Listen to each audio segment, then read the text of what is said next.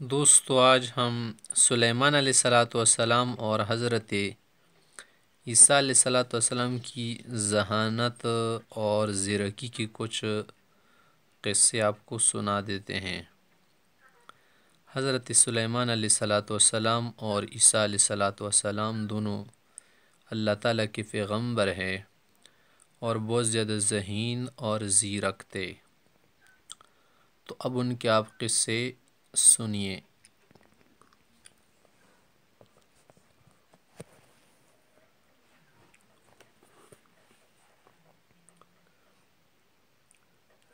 حضرت ابن عباس رضی اللہ عنہ سے مروی ہے کہ جب حضرت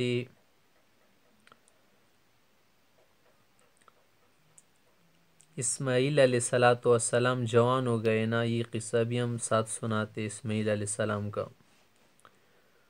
تو اپنی قوم جرہم قبیلہ جو تھا نا ان کی ایک عورت سے نکاح کر لیا۔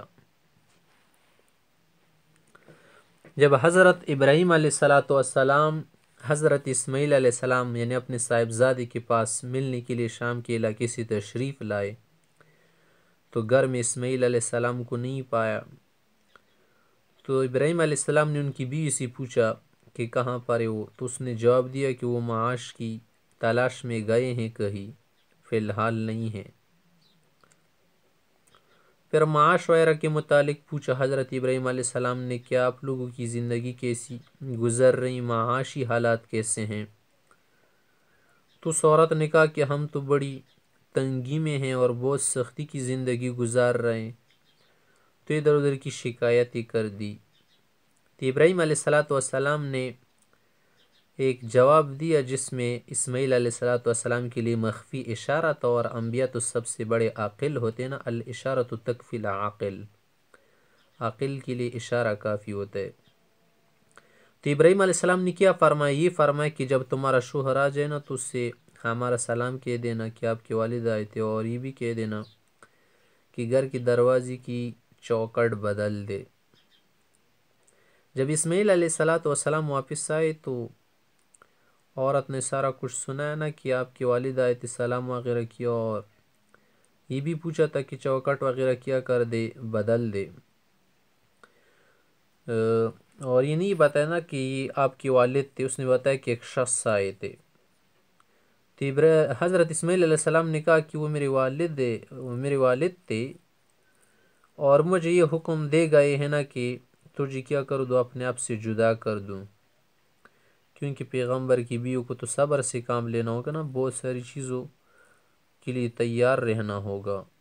تو اس کو حکم دیا کہ آپ اپنے متعلقین کے پاس چلی جاؤ۔ حضرت سلیمان علیہ السلاۃ والسلام کی ذہانت اور زرکی کا ایک قصہ سنیے، ایک اور بھی سنائیں گے۔ سلیمان علیہ السلاۃ والسلام کے بارے میں حضرت ابو حریرہ رضی اللہ عنہ سے روایت پیغمبر صلی اللہ علیہ وسلم سے روایت کی ہی کہ سفر میں دو عورتیں تھی اور ہر ایک خاتون کے پاس گود میں بچہ بھی تھا ایسا ہوا کہ ایک بیڑیا آیا اور ان میں سے کسی ایک کے بچے کو لے گیا۔ اور ان میں ایک خاتون زیادہ عمر کی تھی اور ایک ذرا کم عمر کی تھی۔ تو دونوں نے کیا کر دیا؟ جگڑنا شروع کر دیا اس بچے پر۔ ایک کہہ رہے کہ یہ میرا بچہ اور دوسری کہہ رہے نہیں، یہ تو میرا بچہ آپ کے بچے کو بیڑیا لے گیا۔ تو یہ مقدمہ حضرت دعود علیہ السلام کے پاس وہ لے گئی۔ تو دعود علیہ السلاۃ والسلام نے بڑی خاتون کے حق میں فیصلہ کر دیا کہ بچہ آپ کا ہوگا اور قبضہ بھی اسی کا تھا نا، قبضہ ملکیت کی ایک دلیل ہے۔ واپسی میں ان عورتوں نے حضرت سلیمان علیہ السلاۃ والسلام کے پاس گزر رہے تھے۔ یہ مقدمہ ان کے پاس لے گیا اور حالت دریافت کی مسئلہ وغیرہ پوچھا۔ اور پورا قصہ سنایا۔ تو سلیمان علیہ السلام نے کہا کہ چلو یہ بات نہیں ایک اور فیصلہ ہے، ہمارے پاس وہ یہ کہ چاقو چوری لے کر آؤ، میں اس بچے کو دو ٹکڑے کر دے، کر دیتا ہوں نا۔ آدھا تمہارا ہو جائے گا اور آدھا تمہارا ہو جائے گا۔ چھوٹی عمر والی جو خاتون تھی نا، اس نے کہا کہ نہیں نہیں، اس کو چیر نہ کہاں۔ یہ پورا کا پورا اسی کا ہو جائے، مجھے کچھ نہ ملے، لیکن اس کو کچھ کہنا نہیں۔ تو سلیمان علیہ السلام کو پتہ چل گیا نا کہ یہ بچہ اسی کا ہے۔ اگر اسی کا نہ ہوتا نا تو دوسرے والی تو رضی ہیں کہ اسے چیر دیا جائے، کیونکہ میرا بچہ تو اسے بھی گیا نا، تو اس کا بھی جائے، تو دونوں برابر ہو جائے گی۔ اور یہ تو کیا ہوتا ہے آپس میں اسی رقابتی ہوتی ہیں۔ تو یہ بھی آپ علیہ صلاۃ سلمان علیہ السلام کی ذہانت کی کیا ہے دلیل ہے۔ تو پھر بچے کا فیصلہ کس کے لیے کر دیا؟ چھوٹی والی عمر کے لیے کر دیا۔ سلیمان علیہ السلاۃ والسلام کے قصص میں سے ایک قصہ یہ ہے، محمد بن کعب قرضی سے روایت وہ کہتے کہ ایک شخص تھا، سلیمان علیہ السلام کے پاس ہے اور عرض کیا کہ نبی اللہ، میرے پڑوس میں کچھ ایسے لوگ ہیں نا کہ جو بطخ چراتے ہیں یعنی چوری وغیرہ کرتے ہیں۔ تو آپ علیہ السلام نے کیا کر دیا؟ نماز وغیرہ کے لیے اعلان کر دیا، سارے لوگ حاضر ہو گئے تھے وہاں۔ تو آپ نے خطبہ دیا اور خطبے کے دوران فرمایا کہ تم میں ایک شخص سے نہ وہ کیا کرتا ہے؟ اپنے پڑوسیوں کی بطخ چوری کرتا رہتا ہے۔ اور بات یہ ہے کہ اسی حالت میں مسجد میں آتا ہے نا کہ اس کے سر پر پر ہے یعنی اس کا پر جو ہے نا، اس کے سر پر ہے۔ اصل میں جملہ تو اردو میں بھی پڑھا جاتا ہے نا کہ اس ایسا پرندہ بتاؤ کہ جس کے سر پر ہے، کہ جس کی سر پر ہے، یا جس کی کیا ہے، سر پر پیر ہے، سر پر پیر ہے۔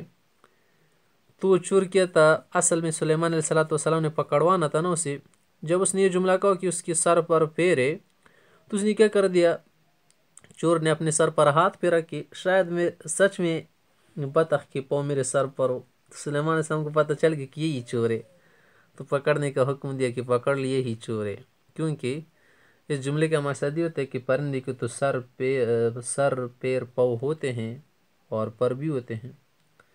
عیسیٰ علیہ صلاۃ والسلام کی ذہانت کا ایک واقعہ سن لیے۔ عیسیٰ علیہ صلاۃ والسلام کے بارے میں منقول ہے کہ شیطان نے آپ کے پاس مل کر ایک مرتبہ آیا اور کہا کہ تیرا یہ عقیدہ ہے نا کہ تم کو تو وہی پیش آتے جو خدا تعالیٰ نے تمہارے لیے لکھ دیا ہونے تقدیر کی بات ہے۔